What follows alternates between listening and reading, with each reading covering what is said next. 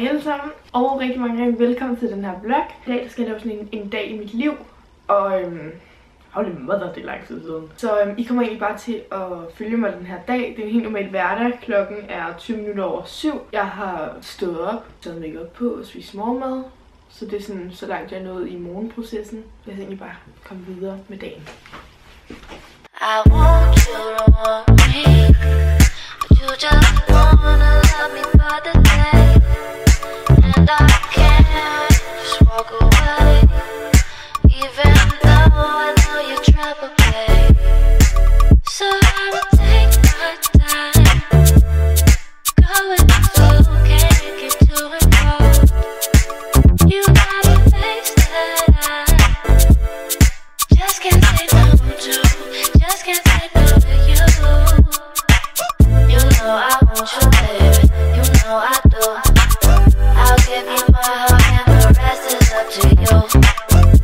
ain't no good for me. I know it's true. Så har min mor lige cyklet fra mig, og nu skal jeg bare lige cykle sådan 4 km ind til Valby. Og det tager nok bare sådan 20 minutter, og så skal jeg cykle. Så er der vlog. vlog. Er det live? Vi, vi er i skole nu. Vi har biologi. Ingen har lavet lektier, det er kun mig og jeg, fordi vi er rigtig gode. Det var en film, så selvfølgelig laver vi det. Den hedder Sida og Jellica, det vi tror, de er begge to syge.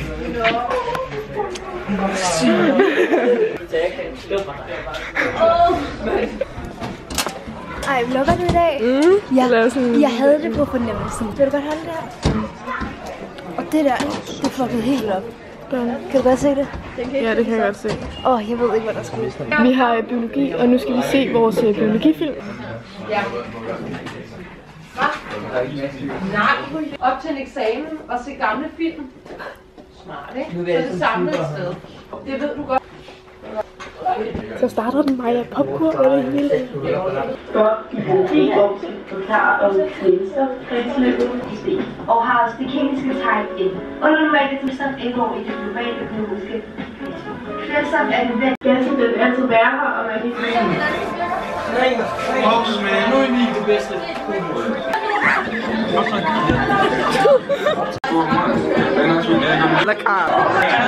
Fucking weird klasse, det er det vel. Sindssygt. Højt er bølle, mand. Vi skal ind og have UV-vejledning, ja. sådan noget uddannelseshit. Men alt det, jeg gerne vil være, det skal man ikke bruge en uddannelse til. This is our beautiful school. handler om i dag, det er ungdomsliv. Og øh, mit mål Prøv at se, vi se vores øh, flotte udsigt. Wow. Ah. Vi var lige inde i kantinen derinde. Jeg skal bare over og købe noget mad nu. Jeg skal lige mødes med Mathilde, eller jeg skal rigtig mødes med Ellen, men hun er hjemme. Ja, så nu er det bare Mathilde. Hvor var du agurker som baggrund? Nu er vi kommet ind fra pausen igen, og åh, oh, der kom... og vi var UV, det er sådan et fag, vi har, som hedder et understøttende undervisning. Ja, der er sådan fordybelsesslød. Ja. Vi har en job og sådan noget. Ja. Og vi skulle skrive en jobansøgning, men det behøvede jeg ikke. Jeg har allerede et job. Nu sidder vi der på mælkelsen der. Det er fræk nok. Et tip til alle jer, der rigtig gerne vil have gode karakterer, det er, at I altid skal lave et sidehoved. I trykker to gange, så skriver I det her. Så skal I også lige op og skrive dato og det der. Det gør I sådan her. Så begynder I egentlig bare, så har I det der sidehoved. Nu er jeg egentlig færdig med mit dokument, men det begynder jeg egentlig bare på at arbejde lidt med noget YouTube. Åh, okay, jeg synes det. Yeah. Så har vi historie. Yay! Kan vi ikke fremlægge? Det der Gud, ja. Sune, øhm, det er fordi, at øh, vi skal jo fremlægge. Ja, i dag. Det håber jeg også på.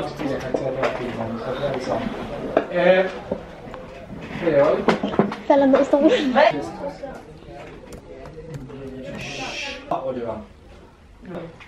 Tak, det er en pose. Skal bare en dir.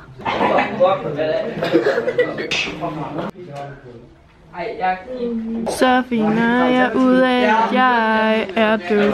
Gider jeg det? Nej, det gider jeg ikke. Ej, hvor er det klart.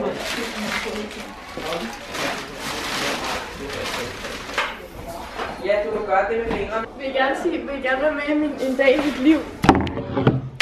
Oh, du er til YouTube. Oh, wow. Fuck, det er det pleasure. Åh, oh, det er pleasure for det her. Han er bare Altså, for at blokere hey. mig på Snapchat. Fordi du var, hun, hun sætter alt for mange stories, fordi du Nej, for det mange er nemlig det, der, det, er det, der er sejt, fordi min story er Så, så lad mig få den private Snapchat, hvis du ikke har nogen. Jeg har kun Okay. den. Hej vloggen! I dag der er vi på skolen, og det er det Silas, det er det William og Louise Madsen her, som sidder som en lille øh, gnom. Og i dag er der en classmate, der har spist boller i kaj med broccoli. Den er stok øh, så fast i den her øh, glasskål, og den lugter muggen røv. Hey Serda! Hvad så? Hey. Louise har fundet en rottelort. Det er sådan en passer. Nej, men i hvert fald. Dagens fangst. Ja. Hvorfor er det allerede begyndt at blive mørkt? Han spiller floorball. Hey Jonathan. sæsonkort. Det er Jonathan. Er det her ikke et buskort? Det, er det ikke et sæsonkort? Det er et Øh, buskort. og vi skal lige undersøge, så alle de her drenge, de er singler, piger. Togkort, men det hedder buskort. Hvad fanden var det for noget lort? Er I klar? Louise, hvad hedder det her? Jeg kan mærke, at du har varmet dit kanalhusår. Undskyld, jeg De her, ikke? Det er dårlig kvalitet. I skal ikke øh, bolle med dem på. I stedet for glidecreme, så er der mel på. Den er Kæft noget lort. Shit, shit. Go! Kan du prøve igen? Hvad fuck var det? Har du nu kommet så? Nej. Hvad er det? Ja. Frederick. Så jeg har en smøg i hånden. Hallo, han har en smøg i hånden. Hallo, hallo, han har en smøg i hånden. I timen, så sad jeg og kiggede på dig og tænkte, ej, nu tænker jeg på Emil i sådan et æggekostyme. Hvad? Hvorfor det? Den kom ud. Vis lige tusind. Okay, prøv at se. Så, den her tus har været indespærret. Hvor jeg filmede det faktisk før.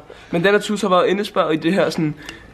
I 100 dage eller sådan noget. Glaskammer. Ja, I sådan der helt 8. klasse, og vi har bare ikke kunne få den ud, og alle de har bare prøvet at få den ud og sådan noget. Nu er den der fri. tus. Nu er den fri. Ja, nu, nu skal der jo mere duksearbejde. Ej, nej, det, Ej, det er dig. Der er Glasgow, små børn, løb fra livet. Værsgo, Louise. Var det mor?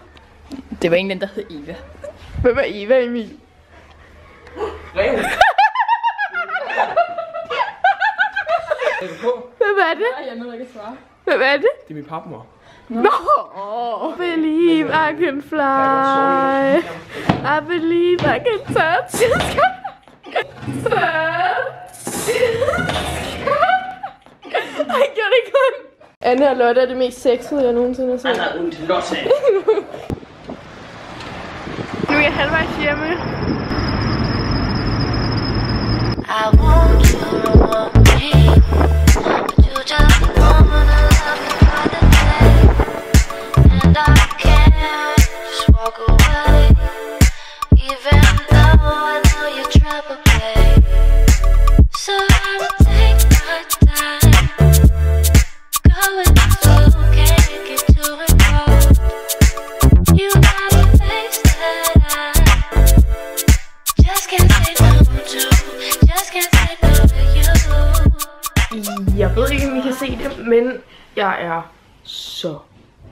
Og det er sådan altid sådan der, når jeg har menstruation, ikke? som jeg har nu, så øhm, får jeg det altid fucking hype.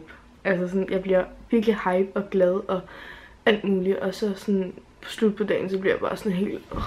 Jeg har i hvert fald lige været nede og øhm, spise. Nej, altså lige før, der var jeg lige ude og skifte mit blod i bind. Og hvorfor klør min overlæb? Og hvorfor er de bind, min mor køber gule i indpakningen?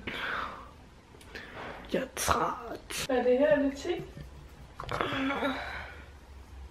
Jeg aner det ikke. Jeg har fået så mange ting sendt og goodiebag og uh, event. Jeg kan koncentrere mig her. Så jeg går ned i stuen. Jeg skal jeg tage min Eller skal jeg tage min?